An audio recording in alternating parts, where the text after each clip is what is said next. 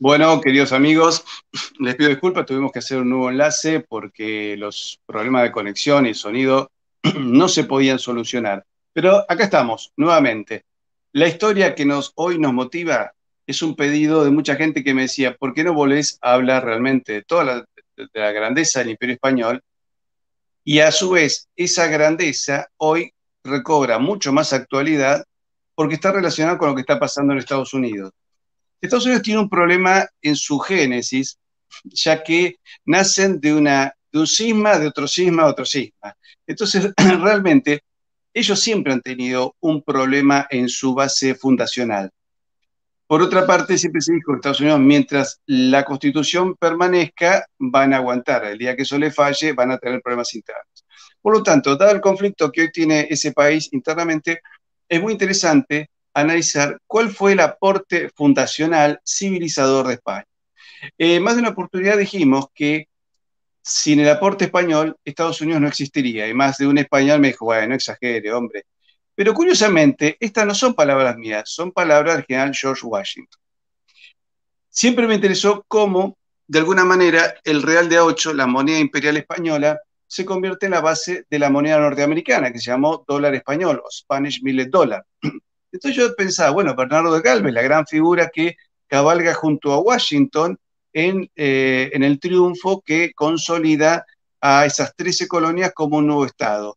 Yo dije, acá falta alguien. Buscando y buscando me encuentro con una novedad, con el profesor Frank Cazorla y su esposa Rosa García Baena, de Luis de Unzaga Historical Society, que hicieron un trabajo increíble. Descubrieron esta figura, Luis de Unzaga y Amézaga, el hombre que por primera vez escribe en un papel Estados Unidos, el nombre de ese país.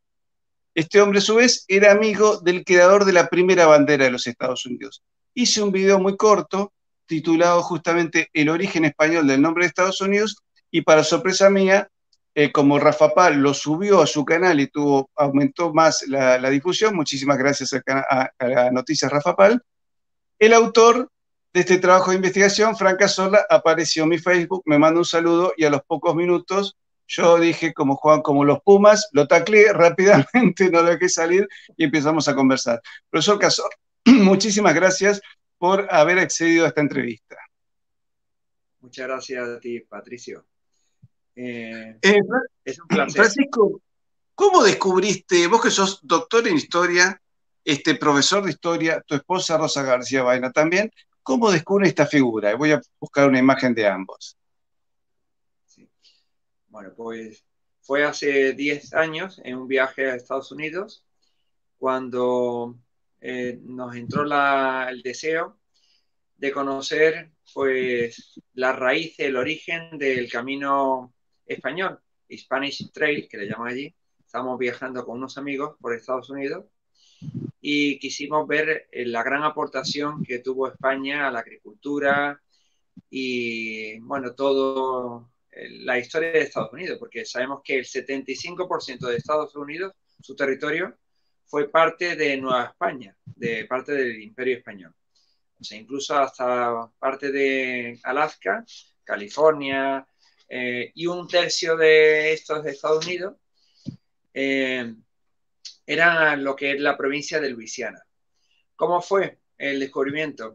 Pues eh, mirando yo en Wikipedia, pero en la parte de Malagapedia, personajes malagueños que habían aportado, encontré una pequeña ficha, una pequeña reseña sobre este malagueño ilustre, Luis Dunzaga, que, bueno, en 1740 eh, lo manda el rey, allí Carlos III lo manda a América, y está en la guerra del asiento. Lucha contra los ingleses con dos fragatas contra unos navíos ingleses. Después de varias cosas que hace, son aportaciones, por ejemplo, el tema del sueldo, el salario de los soldados. Él organiza al ejército allí al regimiento de La Habana. Eh, un coronel, eh, bueno, pues se lo lleva con él se llama Alejandro O'Reilly, que es de origen irlandés, y se lo lleva a lo que le llamamos la Revolución de Luisiana. Y bueno, y allí empieza ya la historia de Luis Gonzaga como un protagonista importante en el territorio norteamericano. Y bueno, si quiere, seguimos por ese camino. Este hombre vive entre 1717 y 1793, más o menos. Sí, ese es, desde que nace hasta que muere. Él nace en Málaga y muere en Málaga. Él regresa otra vez a Málaga. A mí lo que me llama la atención es lo, joven, ¿no? Lo joven que era cuando él fue a llevar, eh, obedeciendo las órdenes del rey, con 23 años ya estaba tomando decisiones en América, ¿no? Exactamente, con 23 años ya está al mando de varias fragatas y después de la gobernación de algunos municipios importantes, como Puerto Príncipe, Camagüey, allí en Cuba, Baracoa, el gobernador con 27 años, con, vaya, con 30 años, ya está al frente de, de, parte del regimiento, una gran parte del regimiento. La caballería la reforma él en La Habana y, bueno, incluso reforma, mm, después de un ciclón que hay en Cuba, reforma una iglesia, la iglesia de la Merced.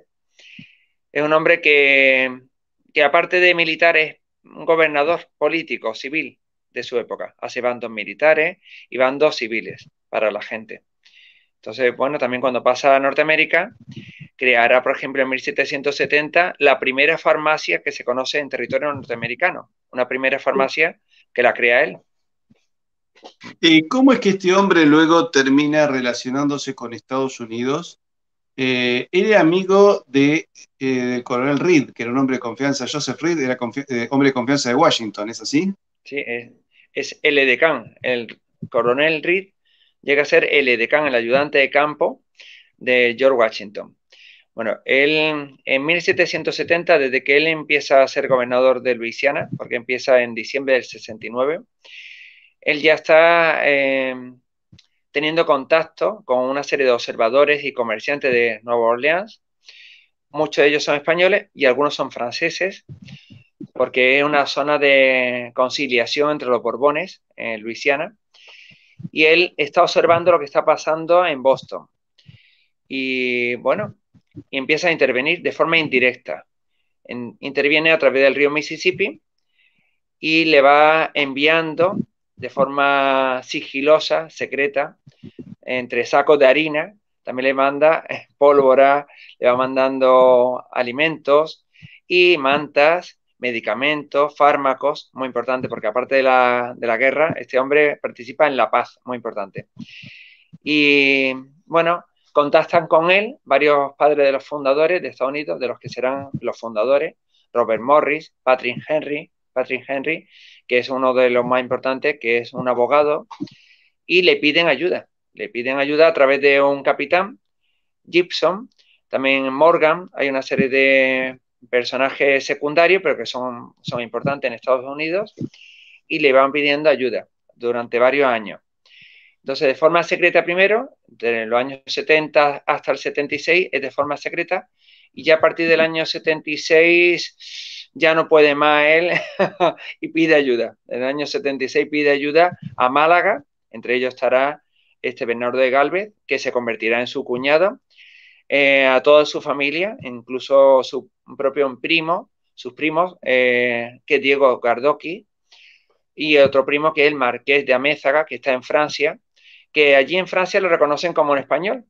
Y esa es otra figura que estamos ahora trabajando, la Luis de Unzaga, porque es un personaje español viviendo en Francia.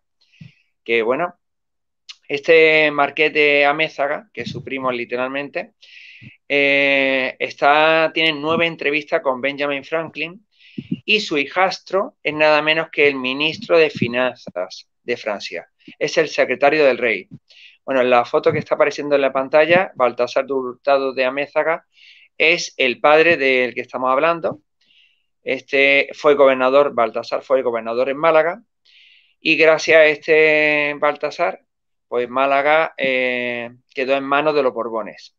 Después su hijo hizo una gran labor en Francia, pero allí lo consideran, bueno, español. Entonces, por eso, bueno, por culpa de haber sido considerado español, no ha sido muy estudiado, ¿no?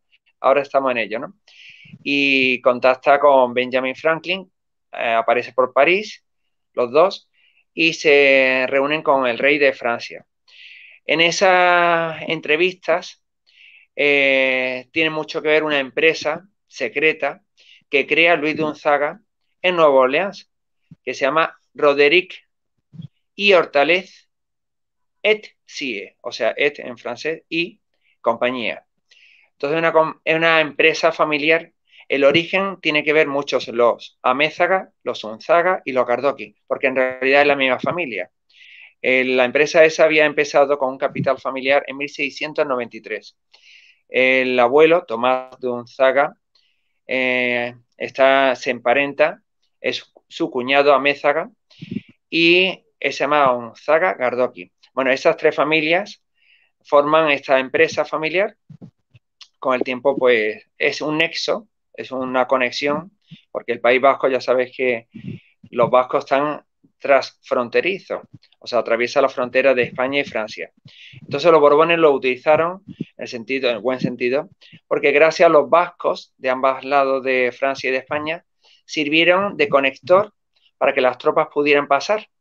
Entonces primaron mucho el libre comercio, le permitieron a los vascos, tanto franceses como españoles, comerciar con Norteamérica. De hecho, ya en 1772, Joseph o Joseph Gardoki, que es también primo de Gonzaga, pues comercia ya con Terranova y con la zona de Boston. Entonces, hay una relación... De, la capacidad de navegantes que han tenido siempre los vascos. ¿eh? Sí, los Esa vascos parte nunca, por cierto, de la mente... Urdaneta, sí, hay muchos vascos. Bueno, es el fundador de de Buenos Aires, así que claro, por supuesto, los tenemos como, una parte nuestra. Vos sabés que acá hay un, hay un dicho que dice, no, no se es un vasco completo sin un tío argentino. Y por ahí hay unos vascos que decían que eran, las provincias vascas son ocho, tres en Francia, cuatro en España y la octava es Argentina. Acá han sido muy importantes en la historia argentina, hemos tenido presidentes de apellido vasco como Hipólito Yrigoyen, esto, para dolor de los separatistas, el, presidente Hipólito Yrigoyen de sangre vasca es el que declara el 12 de octubre Día de la, Día de la Raza y a partir de ahí lo toma España y por eso el rey de España lo condecora a Hipólito Yrigoyen. Eh, la declaración del 12 de octubre como Día de la Raza, que es una declaración argentina, está esculpida en bronce en, en la Plaza del Retiro en Madrid. Así que los vascos son tan españoles como cualquier otro. Exactamente. Los vascos son una parte muy importante en la historia de España, incluso también en la historia de Francia. Y gracias a eso, pues los Borbones pudieron gobernar, porque por la parte de Aragón y Cataluña, como estaban afín a los Habsburgos en la guerra de sucesión, pues tuvieron ventaja en ese sentido, porque las tropas infantería y la caballería pudo pasar por el País Vasco. ¿no? y la Real Guipuzcoana, Compañía Guipuzcoana, que fue el donde estuvo a principio, cuando él llegó a América, eh, con esas fragatas, pues también hicieron mucho en Venezuela. De hecho, después él fue creador de la Capitanía General de Venezuela, uniendo pues Trinidad y Tobago, Cumaná, eh, territorio de la Guayana, etcétera, ¿no? Bueno, lo que me habías preguntado antes era sobre todo la pregunta de la gran participación de este hombre en Estados Unidos, en el inicio. Y bueno, tiene muchas cartas, eh, correspondencia, no solamente con George Washington, tiene varias cartas, con Robert Morris, que Robert Morris es el presidente, el que lleva el comité secreto de correspondencia de Estados Unidos, entonces el ejército continental. Eh, con Patrick Henry hemos dicho, con el general Charles Lee, y con muchos más, muchos más que, le van pidiendo continuamente a lo largo de toda la guerra, o sea, antes de comenzar la guerra ya le están pidiendo ayuda, incluso después de la guerra. En 1783 ha terminado la guerra y él sigue dando ayuda a George Washington, a Robert Morris en 1784, 1785, porque él pasará a ser después capitán general de La Habana. La Capitanía General de La Habana incluía Luisiana, Florida incluso las Bahamas un tiempo. Y bueno, él fue en 1783, antes que llegara la paz de París, el que habló directamente, recibió la visita real de William IV, Guillermo IV. En ese momento era príncipe, pero después llegará a ser rey. Y Guillermo IV aparece por La Habana, que es la primera vez en la historia que aparece una figura real inglesa por América, por el continente americano. Lo recibe él con nada menos con pirotecnia, con fuegos artificiales. Lo pone en los documentos y lo recibe allí la residencia de Unzaga, en La Habana, con su esposa Isabel San Mm, lógicamente dominaban perfectamente el inglés, el francés y el español. O sea, había una buena relación. Bueno, Isabel se sabía que hablaba los tres idiomas, que su esposa, y sirvió también de intérprete, esta mujer, que es interesante porque es una mujer importante en la historia.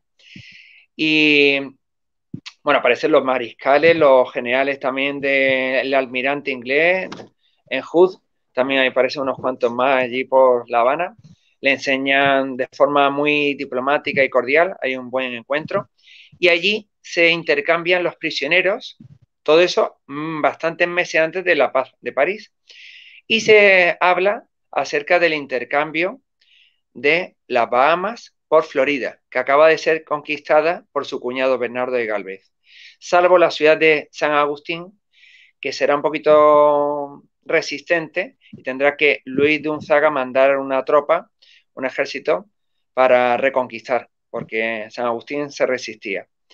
Y la verdad es que es muy apasionante porque hace muchas cosas este Luis Gonzaga. Porque, por ejemplo, este año estamos conmemorando.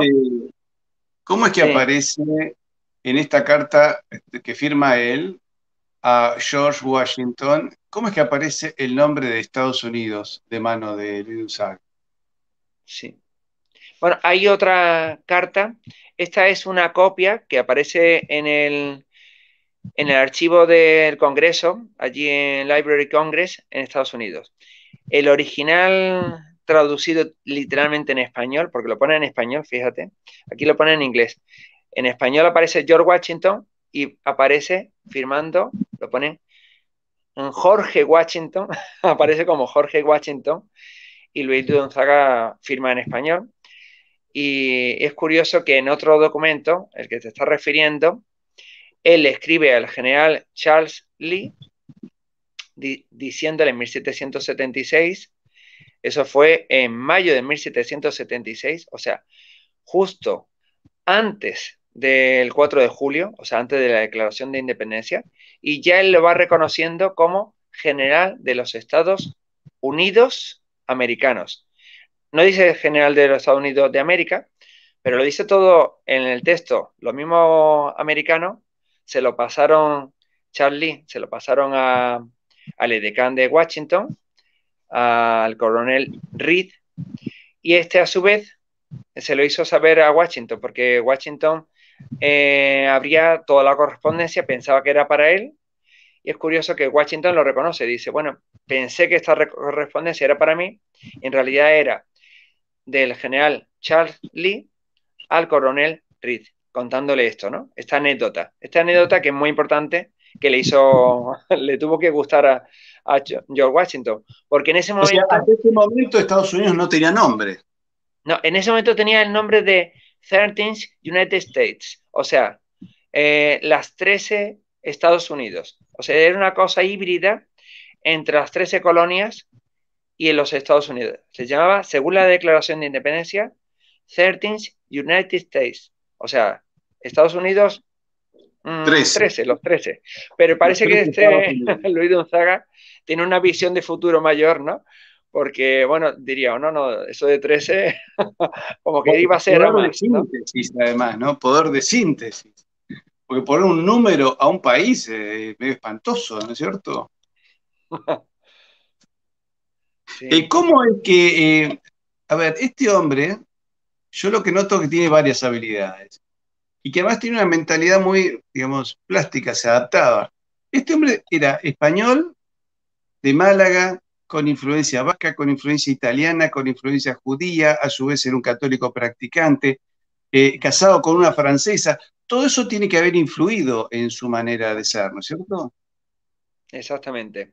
Lo has dicho, es un hombre cosmopolita, es, por supuesto, a las órdenes del rey de España, pero dentro de ese ámbito de alianzas que tenía el rey de España, Carlos III, que no debemos olvidar que Carlos III era, bueno, eh, su padre era francés, era de los Borbones, y tenía una alianza con sus primos desde Francia. Entonces él estaba contextualizado, Luis de Unzaga, como hijo de un vasco y como la madre italiana, pero su abuelo era granadino y como has dicho, bien has dicho, pues su mujer era francesa norteamericana, o sea que era un poco, y bueno, y 40 años que vivió en América, porque esos 40 años le marcaron su vida. Realmente era americano, francés, español, vasco, italiano, y el hombre efectivamente, su nombre aparece en francés, en italiano, en muchos documentos lo hemos encontrado en francés, en inglés, hasta en alemán lo hemos encontrado su nombre. ¿Cómo era el trato de él con, eso es curioso, que incluso hasta con alemanes, ¿cómo era el trato entre él y Washington entonces? Bueno, eh, en 1776 hay ya correspondencia y en 1784 hay correspondencia también. Eh, tenemos solamente unos, vaya, unos poquitos documentos. Lo que sí tiene muy buena relación es con los alrededores, ¿no? Eh, no directamente con George Washington, sino con Robert Morris, con Patrick Henry. Con Robert Morris es muy importante en esa época y con Benjamin Franklin. Benjamin Franklin realmente era, yo creo que el artífice o uno de los artífices, porque George Washington era general, el, que, el joven, igual que Bernardo de Galvez, eran los jóvenes abanderados en la guerra.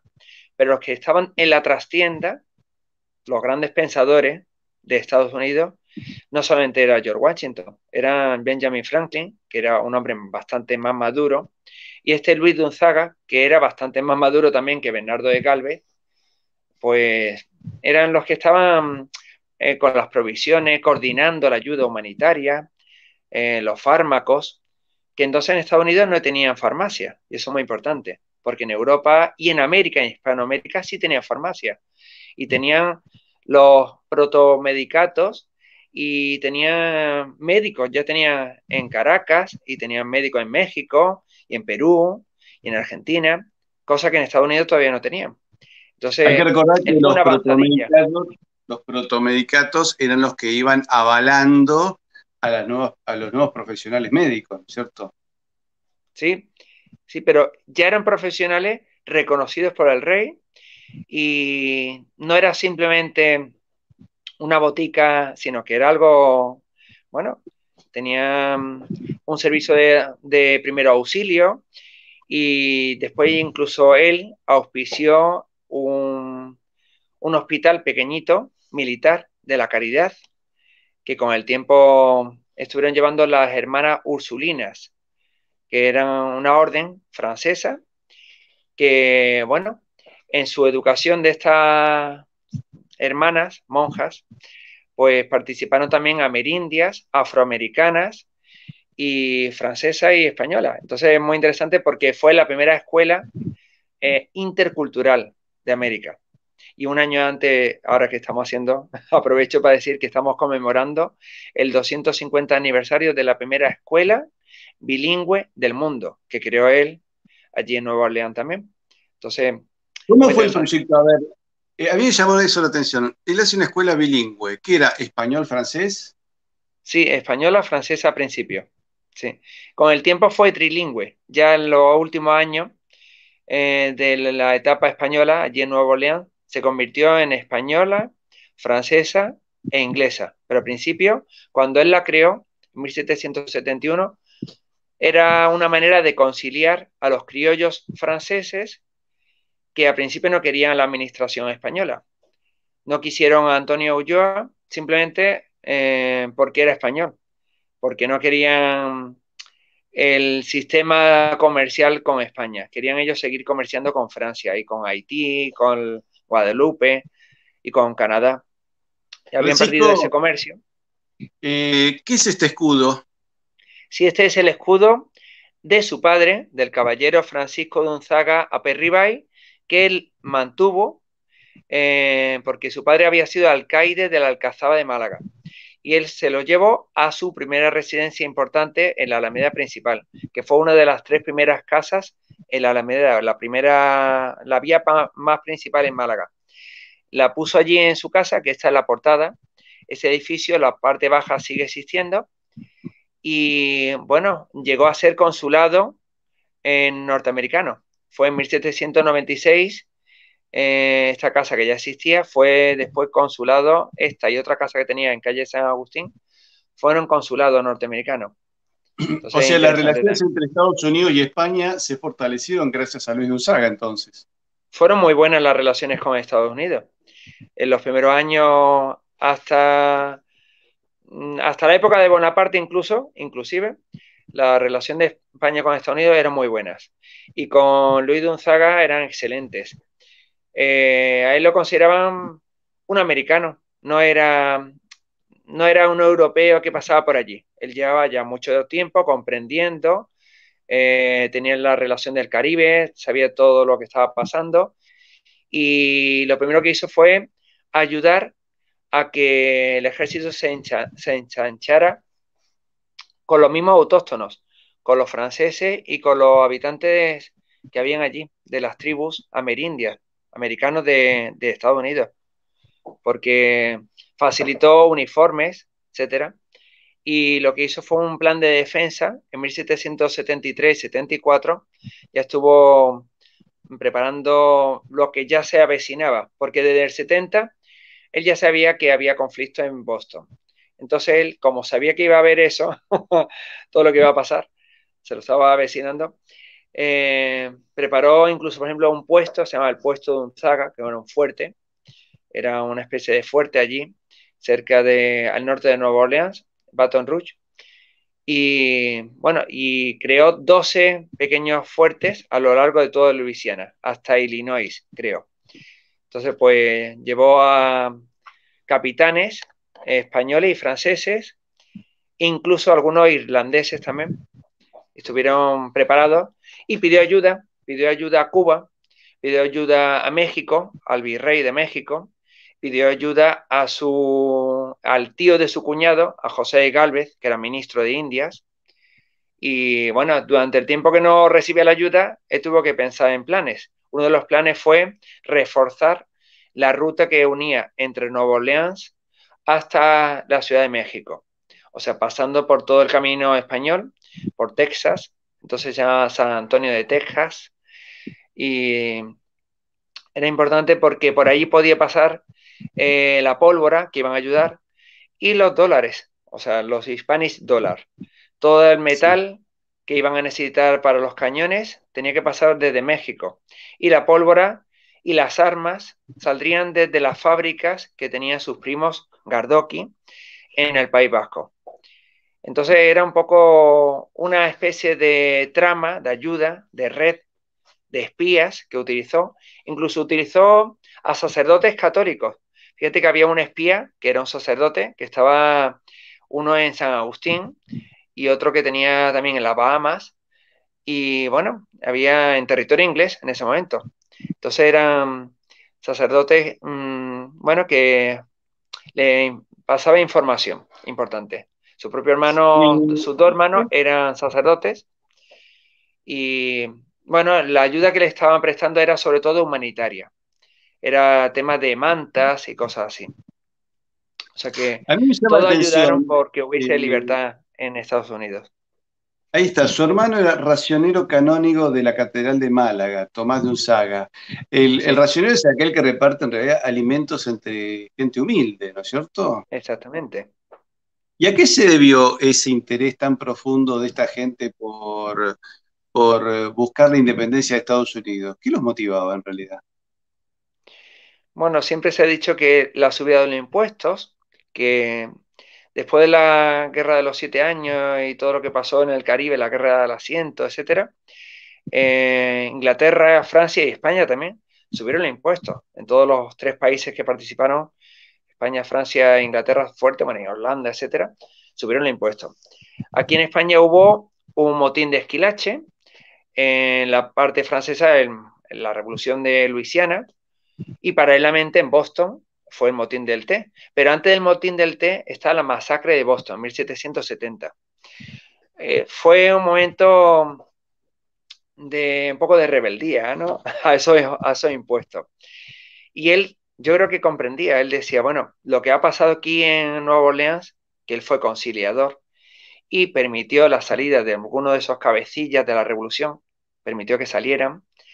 Eh, él fue una persona tolerante, paciente, así lo describen todos los documentos, y comprensivo del comercio. Él pensaba que ante todo había que pensar en las personas, en las personas que se estaban arruinando en el comercio, y cuando las noticias que le llegaban eran de manifestaciones, de personas que habían sido asesinadas, eso yo creo que era un hombre que empatizaba, que comprendía el malestar de las personas que estaban pasándolo mal en las colonias británicas. Sí, hay que aclarar esto, hay un trabajo muy bueno de Alexander von Humboldt, que él dice, no veo pueblos más felices que los gobernados por España, en 1804, y que se notaba una diferencia social económica muy grande entre las Españas americanas y el nivel de vida de los trabajadores alemanes, franceses, ingleses, pero incluso eh, había una gran diferencia con el nivel de vida de las colonias norteamericanas. De hecho, Thomas Jefferson, que es uno de los primeros presidentes de Estados Unidos, tenía varias hijas mujeres y las mandaba a estudiar español para que aprendan la lengua culta de un país civilizado. Y le compra el informe a Humboldt porque quería ver cómo funcionaba el imperio español, porque no tenía una información fidedigna y el trabajo de Humboldt, esta, suerte Marco Polo alemán, este, le dio un montón de información que sirvió para el origen de Estados Unidos. él era amigo del creador de esta bandera, ¿no? Sí, el coronel Reed fue el creador de la bandera de Estados Unidos y bueno, él, fue el que precisamente el coronel Reed, que era el decán de Washington, fue el que le dijo a Washington esa información de que le había gustado muchísimo a todos, a todos estos generales norteamericanos, cuando eh, Luis de Unzaga dijo en español, eh, general, le llamó general de los Estados Unidos americanos. Entonces eso de general Estados Unidos Em, lo, explicaron ellos, y es porque le llamó la atención de que lo reconociera como un general de un país ya, mm, no de unos rebeldes o que eran gente que revolucionario, sino que fue el primero que lo reconoció, este hombre, Luis Gonzaga. No lo reconoció ningún rey francés ni nada, sino antes de que llegara la noticia incluso a Europa, él ya estaba reconociéndolo como general de los Estados Unidos. Y bueno. Eh, Hay que recordar también que para lograr la independencia de Estados Unidos, el almirante Luis de Córdoba tuvo participación. Eh, destroza en una batalla a, la flota británica. Y creo que Bernardo de Galvez también se manda a Pensacola, ¿no? Dice, voy solo, dice, que creo que es el, emblema del escudo, porque nadie, creía que era posible cuando, cuando se manda zarpan todos los demás detrás de él, ¿no es cierto? Pero por eso hay que reconocerlo, hay que recordar siempre lo que dijo Washington. Nosotros, este, voy a poner nuevamente la imagen de él, sin el apoyo de España no hubiésemos ganado. Por eso aquí la importancia de Luis Gonzaga es fundamental. Eh, ¿Cuál fue la aceptación de este libro eh, en Estados Unidos? El libro que estás sacando en la pantalla, te refieres al libro que hemos escrito, ¿no? Sí. Bueno, todavía no se ha, se ha dado a conocer en Estados Unidos mucho, porque eh, no ha coincidido con lo de esto de la pandemia del COVID. Eh, la cosa es que justo antes de empezar la pandemia presentamos el libro, efectivamente, y bueno, vino la cónsul norteamericana a la presentación, vino el alcalde de Málaga, y vino nada menos porque nos pusimos en contacto, eh, porque hicimos el árbol genealógico ascendente y descendente de este hombre, de Luis Gonzaga.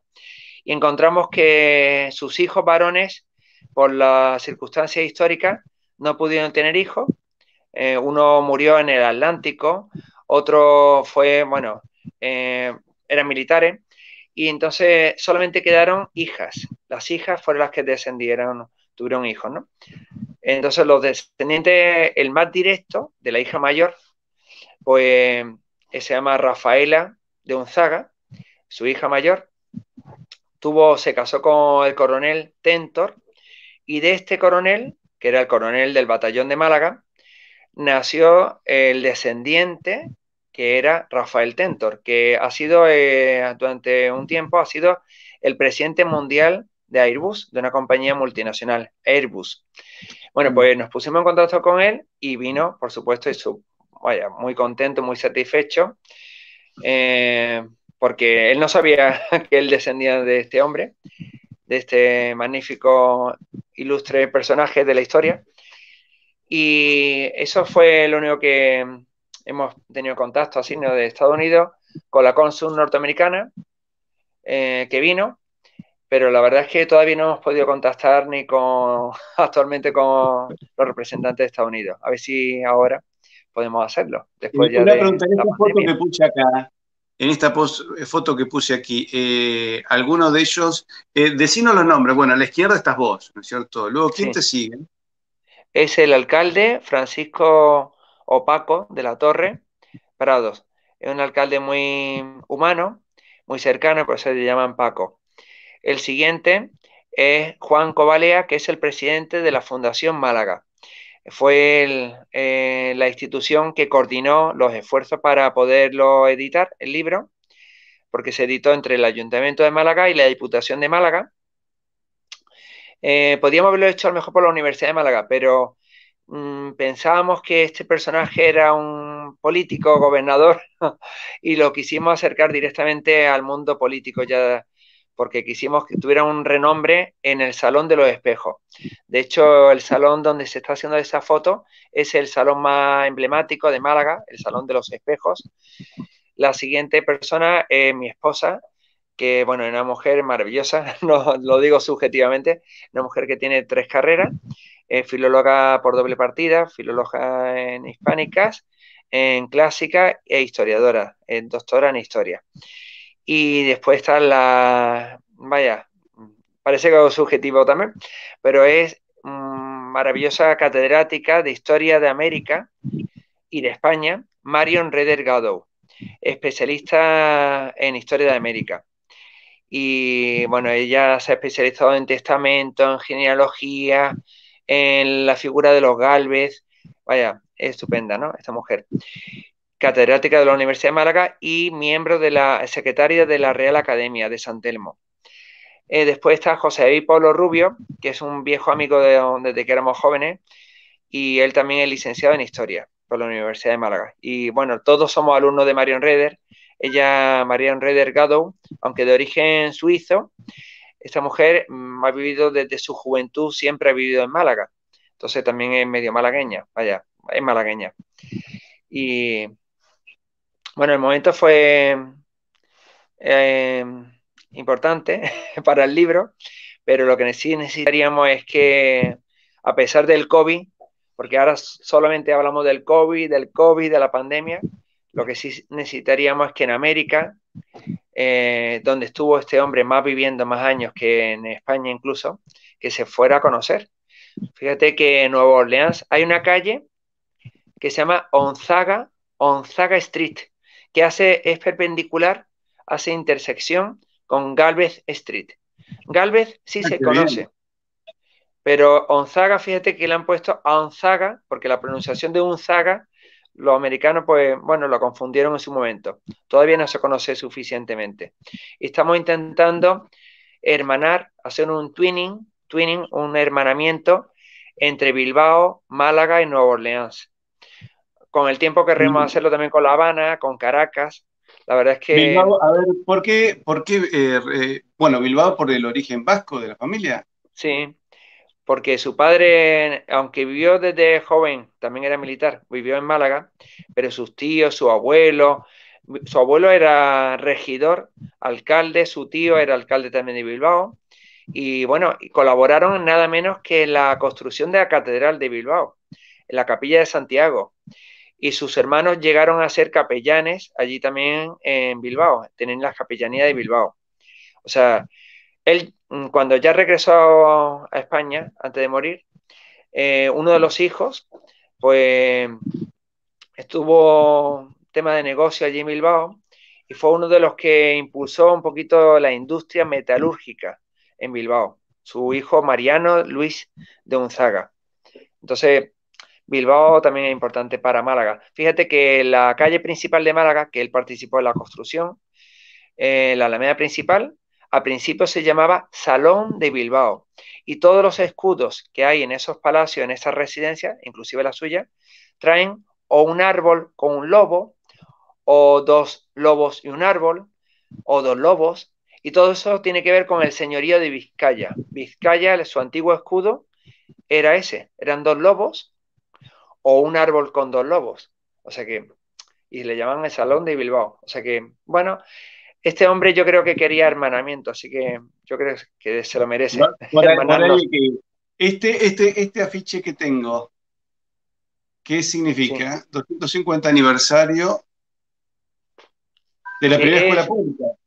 Exactamente, la primera escuela pública bilingüe del mundo. Pero no solamente crea una escuela, sino que crea varias escuelas. Crea cuatro escuelas en Nueva Orleans, después crea dos escuelas en Venezuela, una escuela en Cuba, o sea que crea muchas escuelas. Y después su esposa, justo después de morir él, tres añillos después, crea una especie de orfanato, una sociedad de damas, que entonces se llamaba Sociedad de Damas, de Mujeres Femeninas, eh, con el fin de ayudar a los niños expósitos. Y hemos encontrado, bueno, ya existía, eso sí lo habían localizado otra catedrática en Málaga, los estatutos. Entonces, bueno, eh, era un amor a la filantropía, ayudando a los niños que no tenían sustento para tener acceso a la educación yo creo que en Estados Unidos vas a tener, eh, vas a tener mucha recepción. Mira, es más, esta foto tuya tenés mucha pinta de gringo, Francisco. Tenés mucha sangre visigoda, me parece. Y acá, a ver, esta foto es tu esposa hablando, ¿no? En la Fundación Málaga. Sí. Y acá está nuevamente en el mismo evento tu esposa y eh, recordame el nombre que, del señor que está Paco de la Torre, que es el alcalde de Málaga. Ah, perfecto. Que, decime qué es este documento. bueno, este documento es uno de los varios documentos que tiene Robert Morris eh, con él. Le escribe Robert Morris, que es uno de los padres fundadores de Estados Unidos. Eh, muy importante, porque le está dando la gracia y, pidiéndole al mismo tiempo, porque Luis Gonzaga intermedia, o sea, intercede a la hora de la ayuda financiera de los últimos momentos. En 1782, 83, 84, 85, o sea, incluso después de la guerra de la independencia, pues Luis de Unzaga consigue que banqueros financieros franceses, eh, no solamente su familia los sino también franceses, Amelot, eh, Le Coutox, hay unos cuantos franceses que financian las últimas batallas navales de los americanos contra los ingleses. Entonces, si no tuvieran el sueldo ese, esa financiación, los soldados no habrían luchado, no habrían tenido el sustento necesario para beber, para beber comer y todo. Francisco, a mí lo que, lo que más me impacta de este hombre, amigo del creador de la bandera de Estados Unidos, ¿no es cierto? Acá lo hemos puesto, eh, es el, primer hombre que escribe en un documento el nombre Estados Unidos, sacándole el número 13, eh, un hombre que colabora con, Washington. Es decir, digamos que eh, Luis Gonzaga es un personaje extraordinario. Ahora, ¿cómo logra este hombre, evidentemente muy dotado para la diplomacia, para la guerra, para el comercio, para la economía, ¿no es cierto? La familia en sí, toda, ¿no? Hasta el hermano cura ayudándolo. ¿Cómo logra sentar a los ingleses y que firmen un tratado de paz y reconozcan a, Estados Unidos como un país independiente, porque eso es una maniobra extraordinaria. Bueno, voy a decir una cosa que todavía no hemos publicado, inédito. El suegro, su suegro se llama Gilbert, o en español le llaman Gilberto, los documentos aparecen en español, Gilberto o Gilbert, ¿vale? San Masen. Eh, hemos encontrado recientemente en la librería, el Library Congress, y en la Universidad de Virginia, que tiene un documento copia, hemos encontrado que aparece este Gilbert Saint-Massen, porque es su suegro, pero fíjate que es más joven que él, porque él se casa, sí, es más joven que su propio suegro, ¿no? Él es mayor que el suegro, o sea, eh, tiene como tres años más. Se casa con una joven de 19 años y él tenía ya bastante más años, tenía ya 58 o 57 años, una cosa así tenía cuando se casó con esta joven. Bueno, el suegro aparece en el tratado, en el documento del Tratado Secreto de París. Aparece en París. Aparece, dice el señor Gilberto San Massén, eh, que aparece aquí, lo pone todo en inglés, dice, que aparece, trae, eh, trae un mapa de eh, América Septentrional, o sea, Norteamérica, incluido Canadá, y delimita, o sea, Gilbert este, que también es el suegro de Bernardo de Galvez, también, porque Bernardo de Galvez se casa con Felicité San Massén, dice, aparece delimitando, delimitando, trazando los límites de Florida, el río Mississippi, las cataratas de Niágara, lo pone todo, los, grandes lagos, o sea, hace de los límites de en ese momento lo que eran los Estados Unidos. Ya pasa a ser de las 13 colonias y ahí se le inserta un poquito más de territorio hasta el río Mississippi. Bueno, pues ese primer mapa lo traza su suegro. Seguramente, eso no, hay duda, Luis de Unzaga, con su primo, el marqués de Amézaga, que estaba allí en París, tuvieron que participar en ese tema, ¿no? Eh, y fue porque estuvo allí el ministro de Finanzas y secretario del rey, de Luis XV, que era Melot, que era hijastro, o sea, hijo político, porque, eh, bueno, este primo de Gonzaga se había casado en segundas nupcias con una mujer que también se había casado en segundas nupcias y tenía este. Y además lo dice en las cartas, dice, cuando le dice a Mézaga, al marqués de Amézaga, a Benjamin Franklin, bueno, te va a recibir eh, el ministro Amelot, que es mi hijo, vaya, mi hijo político su, hijastro, ¿no? Se lo pone. Entonces, bueno, hay una relación muy estrecha entre el rey de Francia y el rey de España, yo creo que gracias a estas figuras, al marqués de Amézaga y a Luis de Gonzaga, porque son los conectores, son estos vascos que están en medio y que conectan América eh, con Europa. Lo que, lo que, me llama la atención, que los, eh, digamos, los ingleses deciden firmar este, el Tratado de París, donde reconocen, ¿no es cierto? Estados Unidos ya lo reconocen en ese tratado. Sí. Bueno, ahora los ingleses estaban reticentes. Sí. los ministros ingleses estuvieron reticentes durante mucho tiempo. Ya sabes que incluso en, la, en el retrato que se hicieron en el cuadro no quisieron ni salir. En la, pintaron a los ministros plenipotenciarios norteamericanos, a los, después se pintaron a los franceses, pero los ingleses no, se, no quisieron pintarse, ¿no? Autorretratarse. Eh, estaban reticentes. Pero este William, William IV, que entonces era príncipe de Lancaster, todavía no era príncipe, o sea, no era el rey, sí llega a hablar con él directamente. La conversación entera no la tenemos, pero sí sabemos que en un momento dado él da un discurso a Luis de Unzaga y le dice a este William IV, le dice que es el mayor, mm, el día más feliz de su vida. Ese día, por haber llegado a ese acuerdo con William lo pone en su discurso ante el rey, le dice en La Habana, este es el más feliz día de mi vida, porque hemos llegado a un acuerdo de paz. Entonces, ese acuerdo no es el acuerdo definitivo, es un acuerdo preliminar. Eh, bueno, no sabemos exactamente las conversaciones que tuvieron, porque son conversaciones privadas y todo no se registra. Esto fue, a ver, recordemos, esto fue en La Habana. Sí, eso fue en abril de 1783. Y el tratado fue en septiembre. El tratado de París, que fue en septiembre. Sí, exactamente. Así que digamos, sin la operación. Eh, eh, ahora, este hombre contaba con la confianza absoluta de Washington para que le maneje este tratado prácticamente de política exterior.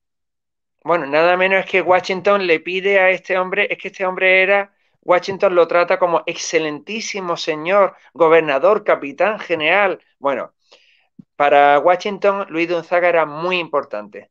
Realmente era muy importante. Para Robert Morris y para todos los padres fundadores. En ese momento, Luis Gonzaga era muy importante porque él tenía desde la Capitanía General, tenía un tercio de Estados Unidos bajo sus órdenes, Florida, Alabama, Mississippi y Bahamas o sea, y el Caribe. Él dominaba eh, mucho más territorio que Estados Unidos. Yo creo que él también dijo, bueno, prefiero tener a un país nuevo, más débil, de fronterizo, que tenerlo en Inglaterra, en América.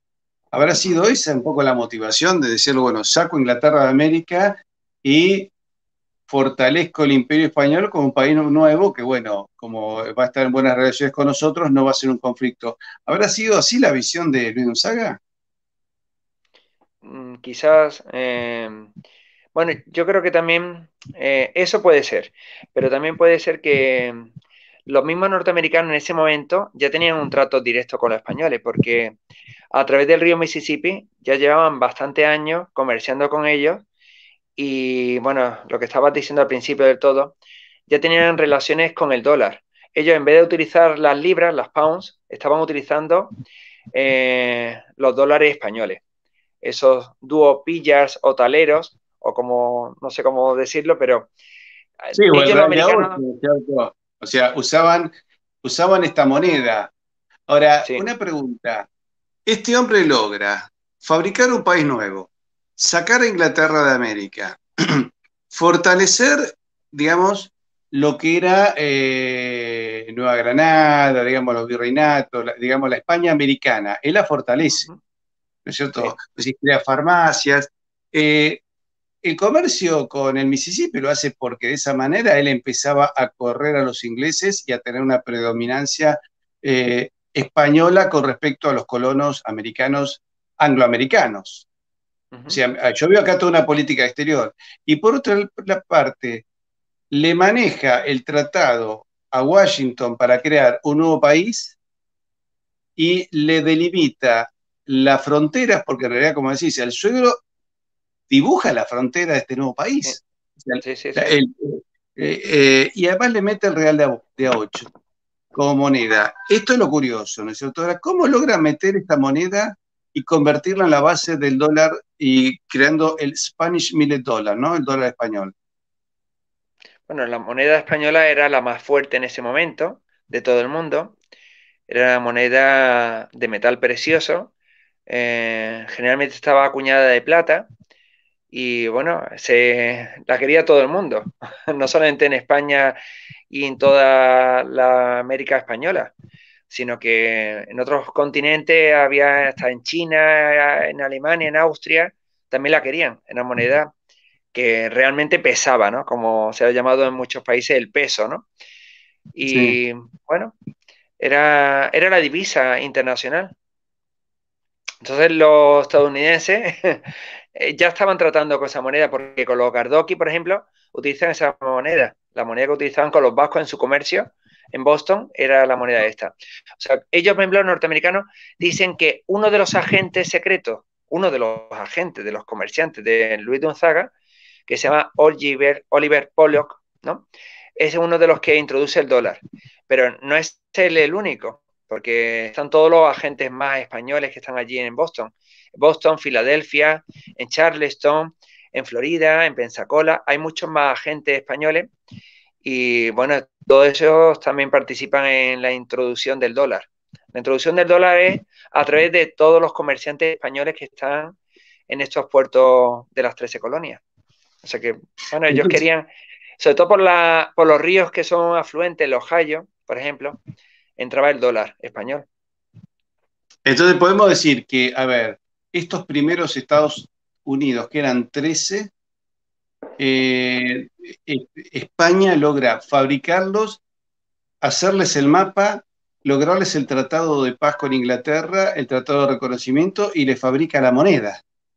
Todo eso junto y además les deja ahí en Luisiana cuando lamentablemente eso se pierde, eh, pero eso ya no es culpa de, de es culpa de otros, este, deja escuelas bilingües en francés y en español, deja farmacias y deja toda una infraestructura este hombre entonces. Bueno, la escuela bilingüe sí era culpa de Unzaga. Lo que ya no es lo del trilingüe, eso sí que ya fue los sucesores, ¿no? Sí, yo creo, bueno, hay una cosa también que no hemos dicho, que es que creó en 1770, también, en ese mismo año que empieza él a gobernar, creó un código jurídico que es la antesala a la abolición de la esclavitud. Porque él, eh, un poquito cansado de la esclavitud, fíjate, que, lo que hace es complicar los expedientes judiciales, que fueran más difíciles, para que los señores de las plantaciones no pudieran adquirir con facilidad esclavos, nuevos esclavos. Entonces les ponía dificultades, muchas trabas, con unos juicios muy lentos, con mucha, mucha retórica. Incluso él libera a muchos esclavos. Hemos encontrado documentos que lo dicen, dice que libera esclavos. A él, por ejemplo, su suegro tenía esclavos y él eh, hereda esos esclavos. Varios de los esclavos de las plantaciones la hereda y él lo dice. Eh, dice que en varias voluntades que él dice, dice, quiero que se libere a este esclavo, a este, al otro. Bueno, realmente era un hombre que no quería la esclavitud. Era como realmente lo que pasó. Lo va, liberando, lo va liberando a poco, porque incluso dicen que aquellos que eran esclavos y querían liberarlos, no los podían hacer de golpe, porque genera todo tipo de conflictos con los esclavistas, y, entonces los, esclavos libertos terminan en peligro, ¿no es cierto? Entonces es como que fueron de a poco, de a poco dándoles libertades a aquellos que querían que fuesen libres hasta lograrlo, pero pero fue todo un tema, ¿cierto? El tema de la... De, claro, porque cuando se establece un régimen perverso como la esclavitud, luego salir de él tampoco es fácil, ¿no es cierto? Sí. Yo creo que una faceta que es lo que más mm, creo que habría que darle más resaltar es el tema de conciliador. A él le llaman el conciliateur, ¿no? El conciliador. Y no solamente porque se llevara bien con los franceses, como has dicho al principio, ¿no? Por el como politismo que tiene él en sus raíces, sino porque él realmente, él creía en el mestizaje, él creía en, la multiculturalidad, la intercultura, vaya. Mm, él, bueno, de hecho, ya sabes que Nueva Orleans es la cuna del jazz, del blues, y muchas culturas han pasado por allí. Bueno, de hecho había varios pueblos que le llaman la costa de los alemanes, que él dio tierras a los alemanes también. Allí en Luisiana dio tierras a los alemanes, que estaban perseguidos por algunos ingleses y se fueron allá a vivir. Él fue colonizador de europeos, americanos, africanos. Él permitía eso, esa intercultura. Yo creo que gracias a eso, Luisiana, que estaba deshabitada, pues fue poco a poco poblándose. Hizo una gran labor. Porque, por ejemplo, otra cosa que hizo... la, impronta francesa sigue siendo fuerte en Luisiana, ¿no? Sí, sí, sí. La impronta, pero se ha mezclado en la cocina, fíjate, incluso la música. La música ha descubierto otro historiador malagueño también, en Alaurín de la Torre, que la música de los gallún, o música cayún es música original de las plantaciones, tiene una serie de instrumentos y un deje y una serie de cosas de las músicas de los verdiales y las malagueñas, de las músicas tradicionales de Málaga. Y es verdad que se parece bastante. Entonces, él permitió con su forma de ser conciliadora, eh, permitió que se fueran mezclando allí. Sí, y una cosilla que iba a decir también, perdona, el tema de, creó eh, estudios agrimensores, o sea, el tema de las medidas de las parcelas, que de hecho todavía lo citan a él. En, registro de Nebraska, en Missouri, etcétera, incluso en Illinois y en Dakota, aparecen documentos de él, porque como eran tantos estados los que incluía todo ese terreno, personas que buscan de quién eran sus orígenes de esa parcela, el origen de su, para demostrar que esa parcela era suya de su antepasado, aparece firmando él, ¿no? Luis Dunzaga. Y es porque él hizo un estudio a peritos, peritos agrónomos de esa época, para que fueran estudiando las tierras, las parcelas, y de esa manera eh, fueron cultivando las tierras, colonizándolas y dando a familias que trajeron de muchos sitios, de Venezuela, de Canarias, de Andalucía, de muchos sitios fueron llevando a la familia y le lo pone, los registros, parece que tenían que darle dos caballos, una mula, cinco gallinas, vaya, una serie de eh, instrumentos de agricultura. Entonces, para que no era un guerrero. De que este hombre, que fue un gran desarrollador, ¿no es cierto? Eh, también vio eh, con mucha inteligencia las posibilidades que tenía el tratado de familia entre Francia y España, al ser la misma Casa Real, Borbón, la casa reinante en, ambos, en ambos estados, ¿no es cierto?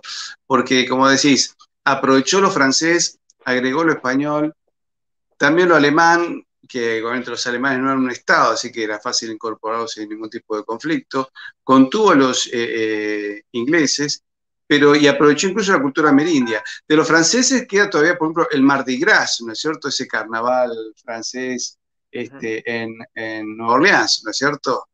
Eh, que creo que tiene traducción eh, Martes Lardero, algo así creo que es. Eh, pero, pero uno nota que este hombre tenía esa habilidad, tal vez producto porque él tenía distintas influencias, ¿no? Es decir, tener influencia vasca, italiana, católica, judía, este, trato con alemanes, trato con ingleses, trato con americanos, ver en el comercio un elemento de eh, socavamiento del poder inglés. O sea, él veía a los ingleses, me parece, como este, son enemigos con, los cuales alguna vez tengo que llegar a un acuerdo. Y llega a un acuerdo, ¿no es cierto? Entonces podemos, a ver, para, cerrar esto y, que le quede claro al público y sobre todo a los norteamericanos, los primeros Estados Unidos, o sea, aquellos que tienen esta bandera, su territorio original fue creado por eh, el suegro de él, por un francés, eh, Gilbert de Saint-Maxent. O sea, hay una influencia francesa y una influencia española. Y la primera moneda también es producto de, esta gente, ¿no es cierto? O sea, la primera moneda eh, norteamericana, podemos decir que también fue él el impulsor. Gracias al comercio aprovechó y luego, porque los primeros dólares se imprimían con el dibujo de la moneda del real a un costado. Eso es muy curioso. ¿no es cierto? ¿Por qué? Porque la gente está aceptando un papel. Y bueno, este papel y este papel equivale a las monedas de plata.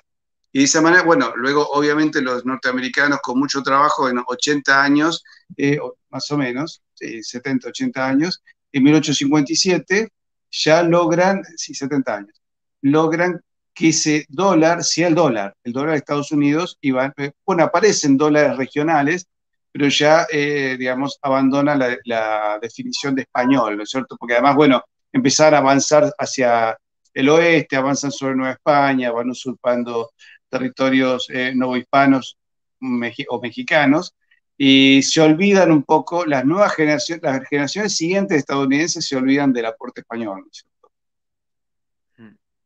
Correcto. Eh, que luego, bueno, hay, que recordemos a Charles Loomis, ese escritor, periodista norteamericano, que empieza a investigar el oeste, el lejano oeste, y dice, pero acá hay una impronta española importantísima.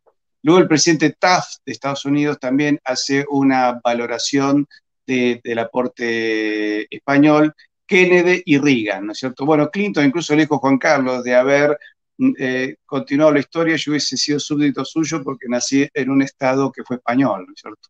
Pero, es decir, sin el aporte de Luis de Unzaga, Bernardo de Galvez, Luis de Córdoba y Gilbert Saint-Maxan, eh, difícilmente eh, Estados Unidos se hubiese podido consolidar. Bueno, Francisco, yo te agradezco muchísimo, te felicito por este, este libro, vamos a ponerlo en pantalla nuevamente. Espero algún día poder tenerlo acá en Argentina y, te felicito a vos y a, tu esposa por el aporte gigantesco que han hecho, acá vamos a ponernos a los dos, este, para que eh, para poder también eh, hacer un reconocimiento a tu mujer que te ha, colaborado contigo paso a paso, ¿no? La verdad es que sin ella habría sido imposible porque, bueno, a mí me gusta investigar. Lo que pasa es que ella redacta con mucho más orden que yo las palabras. Y, bueno, ella es vital en este libro, porque tengo muchos datos y tantos datos, pues hay que ordenarlos. Sí, y por lo general, este, los, eh, digamos, siempre han sido eh, más ordenadas que nosotros, ¿no es cierto? Eso es una realidad. Así que ah, vamos, le agradecemos y felicitamos a la doctora Rosa García Baena eh, y al profesor y doctor Frank Cazorla, ambos malagueños, malagueños como este, también como eh, María Elvira Rocabarea, ¿no es cierto? Otra eh, prestigiosísima este, historiadora española, ¿no es cierto? así que, Francisco, muchísimas gracias por habernos hecho conocer este personaje. Para mí como argentino te digo, yo te lo agradezco muchísimo. Eh, básicamente por mi condición de ser un hispanoamericano o un americano argentino defensor del legado español en América y el mundo, porque la figura de Luis de Unzaga nos permite cerrar muchísimos aspectos y entender mucho mejor eh, el conflicto entre el mundo anglosajón eh, de connotación protestante y materialista y el mundo español de connotación católica y más espiritual y más humanista, ¿cierto? Y cómo eso este, choca y se decide también en la independencia de Estados Unidos. Así que te agradezco mucho, eh, creo que tu trabajo es invaluable. Tengo entendido que vas a hacer alguna segunda edición con nuevos agregados porque hay documentos que se siguen encontrando sobre este hombre, ¿no es cierto? Así que esperemos que tengas una segunda edición más exitosa y Dios quiera que también los medios de comunicación españoles y norteamericanos empiecen a valorar tu trabajo porque realmente este, nos has eh, abierto eh, una beta de investigación muy importante que nos permite comprender mucho mejor la historia de España en América y la historia de los conflictos con Inglaterra y también nos ayuda a entender cómo luego Inglaterra trata de socavar España en América. Es decir, te felicito y te agradezco, sobre todo te agradezco. Sí, muchísimas gracias, de verdad. Al revés, muy agradecido. Francisco, si alguien quiere comprar tu libro, ¿cómo puedo acceder a él? Bueno, eh, en, España es muy fácil porque cualquier librería lo pueden localizar. Poniendo su nombre, el gobernador Luis Dunzaga, y entre paréntesis pone el año 1717-1793, pone precursor en el nacimiento de los Estados Unidos. ¿no? Bueno, eh, poniendo su nombre, eh, en cualquier librería lo pueden localizar. Fuera de España, creo que por Amazon no está, eh, pero sí está por AliExpress, que es una compañía, bueno, alternativa a Amazon. AliExpress. Bueno, yo después te voy a pedir eh, que nos envíes todos los datos porque lo vamos a subir al video, eh, al pie. Y también, bueno, entren a nuestro canal, Historia con Patricio Alonso, donde van a encontrar el video El origen español del nombre Estados Unidos, que dio pie a este feliz encuentro con el profesor Cazón. Eh, Francisco, te agradezco muchísimo. Este, espero que este sea el primero de muchos encuentros donde hablemos también del camino español en Estados Unidos. ¿eh? Es otro tema. Hasta Walt Disney, en un capítulo, uno de los últimos capítulos del Zorro, dice: recorramos juntos el glorioso pasado español de California. Eh, y creo que es importante que los pueblos conozcan. Esto no es, esto es la defensa de nuestras identidades para estar unidos contra nadie, sino para valorar lo nuestro, entenderlo y buscar soluciones a nuestras dificultades. Y poder compartir también incluso con ese Estados Unidos anglosajón y ver que podemos tener muchas cosas en común y a nivel continental, hasta con ese Canadá, parte inglés y parte francés, este, y decir, bueno, señores, estos son nuestros valores. Con estos valores eh, hicimos civilizaciones, naciones, estados cuántas cosas que podemos compartir para que el siglo XXI sea mucho más civilizado. Este, Francisco, muchas gracias eh, y felicitaciones una por Una cosita, ya termino, una cosita pequeña que me estaba dando pie. Eh, la comida de Nueva Orleans es una comida que funde la esencia francesa, norteamericana y española. O sea, yo, yo he comido comida de Nueva Orleans, típica de allí. Entonces, mezcla toda esa esencia, ¿no? Entonces, eso es lo que yo quisiera, que hubiera una buena cordialidad. Eh, espero que algún día podamos disfrutar eh, una comida común ahí en Luisiana. ¿eh? Este, en mi caso, por, tanto por, por, simpatía española como francesa, que creo que me encantaría conocer Nueva Orleans. Y además poder algún día traer tu libro.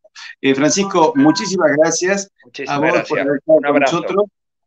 Y a todos ustedes, queridos amigos, gracias por haber participado. Si les gustó el, programa, pongan me gusta, toquen la campanita para suscribir, suscríbanse y eh, toquen la campanita y compártanlo con sus amigos. Y ahora, en un ratito, en 15 minutos, con Javier Barraicoa, vamos a hablar sobre cuando Barcelona se liberó del comunismo. Fue en 1939, 26 de enero de 1939. Ahora, apenas en, en 15 minutos. Y a todos aquellos que quieran colaborar con nuestro canal, ya saben, pueden entrar al Superchat o entrar a comunidadhispanista.com, donde además están los cursos de video, el, curso de latín del profesor Pier Pauli, y nos pueden enviar un correo para colaborar con nosotros vía PayPal, Western Union u otro sistema. Muchísimas gracias a todos, muchísimas gracias y felicitaciones al profesor Cazorla y a su esposa y hasta en un ratito aquí en nuestro canal Historia con Patricio López.